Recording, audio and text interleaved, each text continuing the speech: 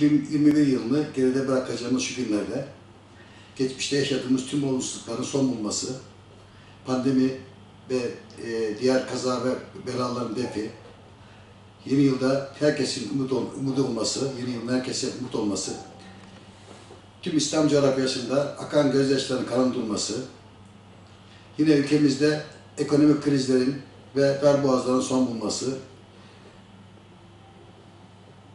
tüm insanların sağlık saat içerisinde huzurlu bir şekilde yaşamalarının temennisiyle yeni yılın herkese hayırlar getirmesini temenni ediyorum. Saygılar sunuyorum.